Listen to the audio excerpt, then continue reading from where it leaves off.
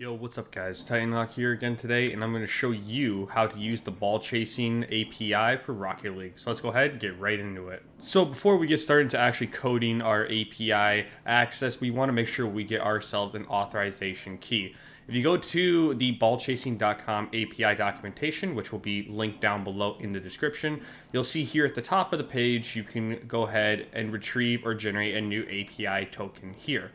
When you load this page, at first it's going to prompt you to sign in with Steam, but for me, I'm already signed in, as you can see up here, and then your API key will be right here. If you do not see an API key, you can go ahead and hit this refresh button or this regenerate button, and it will generate one for you. But once you got that, make sure you copy and paste it onto your clipboard, and then we can go on and head into VS Code. It's also worth noting that this is also how you would generate a API key for the BakkesMod plugin when you're playing Rocket League, if you so choose. Now we are back here inside Visual Studio Code, and as you can see, I've already installed the node pack node module, excuse me, that we are going to need to get this to work. The first thing you'll notice is a .env and the node fetch. .env, you can go ahead and just run down here in the terminal, npm install .env, you want to spell it all out. The next thing you want to do, in order to make the API calls, we're going to use the node fetch module.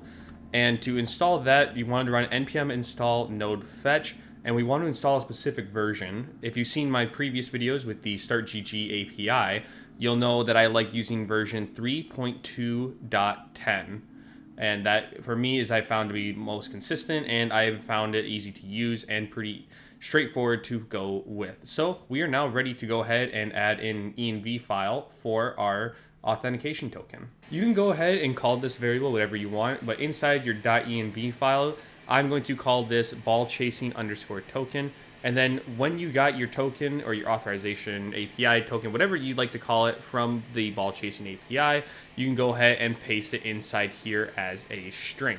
Once you got that done, we are ready to begin coding. So here I've created a file index.js here within the root directory of the project, and I've already added in our two imports from our node modules. You can see here that fetch has a bit of a weird syntax, but that is just how we can go ahead and make sure it will reliably call the API with the data we request, and we will be able to get it in return. Then also we just add in our required.env.config here to load in our env variables, more specifically our ball chasing API token. So now the next thing we want to do here is we need to make sure we have it ready what URL we want to contact with our fetch function or what one what endpoint are we trying to hit.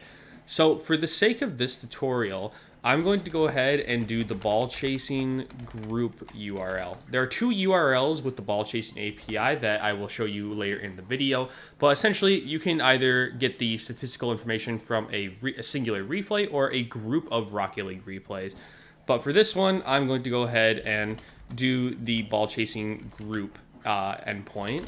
As we go ahead type out https.com or ballchasing.com slash API slash groups and then I'll put another slash here. Then all we have to do here is just add on the ID of the replay group, and I will, again, show you that later on in the video. Now, to make things really easy for you guys to add your own functions to this, we're going to go ahead and create a base function here called get data. So we can go ahead and declare it. We want to make sure this is async. This is going to take in a URL, and then what we're going to do here is we're going to call the API. So you can see here it's taking a URL and not an ID. That's because eventually we can add another variable here for the singular replay group. That way you can just reuse this function for both the singular replay and the group replay or the replay group, excuse me. So here, now all we have to do is just return await fetch URL and then here all of this, all the methods in here in this tutorial will be a get. And remember, with uh, post APIs and, and RESTful APIs, there are four main methods. There's your get, post, put, and delete. Mainly, we're going to be uh, getting data here. You can also have post and delete if you own the API or if you own the replay group or the individual replay. That is up to you, but for the sake of this tutorial, I'm going to be showing you how to get stats from replay groups. Then for your headers, there are two that we want to pass in. We want to make sure we pass in content type And you can probably guess this will be application slash JSON. And then the last thing we need to do is pass in an authorization, which will be process.env.ball chasing underscore token. This this ball chasing token, this should match whatever you have declared in your env file. So if you called it uh, ball chasing underscore API, then you would change this to be ball chasing underscore API. Whatever it is that you have defined in the env file should be here. Then the last thing we want to do is to make sure this is actually readable. Then we just want to add a dot then response arrow response.json. And just like that, this function here is going to handle all of the API requests that we send to ball chasing. So before we proceed any further, let's go ahead and head back to the documentation to see what data we can expect to receive. As I mentioned again, I will put a link to the documentation down below in the description. So here we are looking at the get a specific group endpoint here. So you can see here, it's going to be slash groups slash ID, and I'll show you how to get the ID when we go ahead and test this at the end of the video. But as you can see, this is a get request. And then the only thing that is required that we must make sure we pass in is a string of the replay group ID. So you'll see here as well that we've already set this up to make sure we pass in our headers for content type JSON.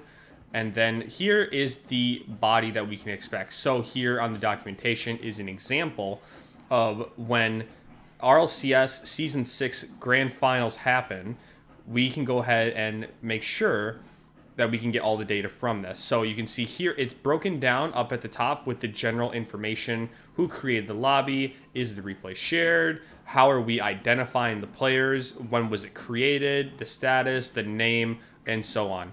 But here is mainly more what we're looking for. We are looking for players. Now inside players, you'll notice here that it's got the square bracket, which means that this is a list. This is going to be a list of players for everyone that was in the replay group.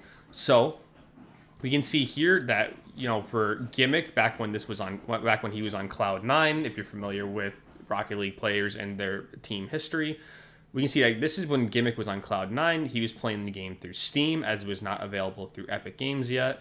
He was this is his id and then here we can go ahead and see how many games he played how many of those games he won his win percentage his how long he played for or how long those five games lasted collectively, his core stats, which were his shots, his sh- the shots he gave up, goals, goals against, and so on. These core stats here is what we're going to be looking to obtain. Now, you can also obtain a lot more detailed information here. Now, remember, this is just cumulative. So this is all throughout the five games that were played.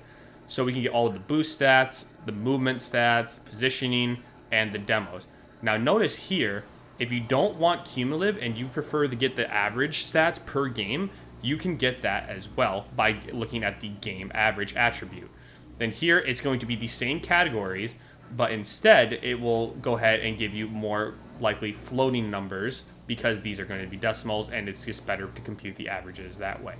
But you can see all this data here is something we can get just by giving the ID for this endpoint. So let's go ahead back into VS Code and get ready to test this out. So here inside VS Code, what we're going to want to do is we're going to want to make a new function. So here, we're going to call this const get player group core stats. So again, here, if you remember, we want to get, we're going to do this for a replay group. That way, if you want to make a same function, except only for a replay, you can you can pretty much copy and paste this and just rename the function. And then here, we're going to want to make sure this is async because we're going to need to call this get data function, which is also async. And then here, we're going to want to pass in the group ID and the player name we are trying to get. And then if you remember this group ID, this is going to be part of the URL. We're essentially just going to append that onto this ball chasing group URL. So now this is going to be pretty easy to do. So we just go ahead and make sure we get our response, which we want to make sure is a constant. Then we will call await get data, the ball chasing group URL plus the group ID because we know that with this is the way this is structured, we just need to append the group ID onto the end of it. Then, just as a quick precaution, we can go ahead and say if the response is null, we know there was an error here, so we can go ahead and just return. If we want, we can even add a console.log statement. We can say no data received from ball chasing API. Then down here, the next thing we're going to do is first we need to ensure that we check for the player. So we can do for i equals zero, i is less than response dot players dot length i plus plus. Now, if you remember, players is a list because it had those square brackets when we looked at the documentation. So here we can say if response dot players i dot name because remember they all have the name attribute. If that's equal to the player name then we found the player we want. And here we can just do console dot log response dot players i. And then here we can go ahead and do game average or cumulative depending on the stat you want to get. For here I will do cumulative make sure I can spell that right dot core and this here will go ahead and print out all of the cumulative stats I'll real quick after I finish recording this little segment, I will make sure I spelled this correctly. Make sure you spelled this correctly, otherwise this will turn this will cause an error as this will be undefined and you cannot access an element of an undefined attribute as that will cause an error. As soon as we've done that, we can go ahead and return because we found everything.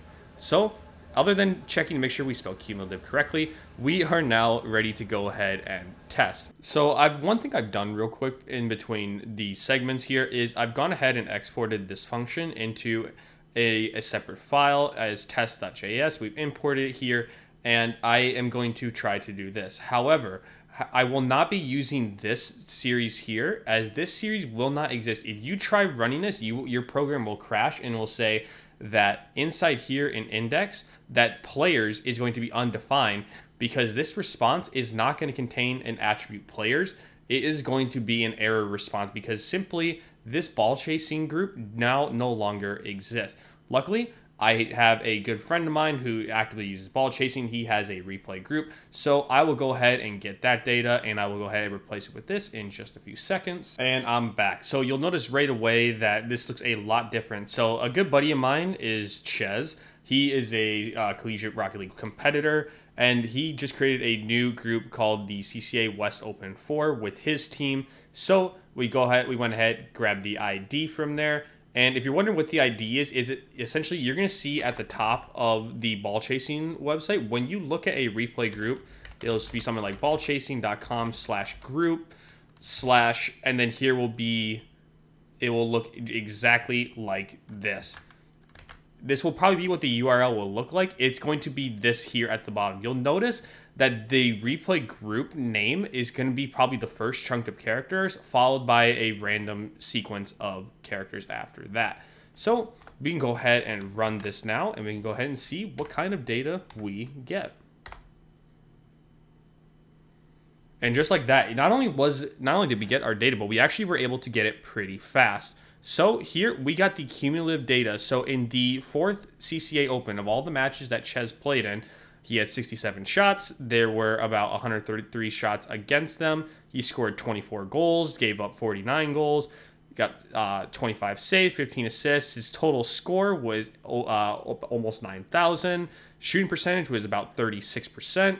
And he did not get MVP a single time. But these are still pretty solid stats regardless.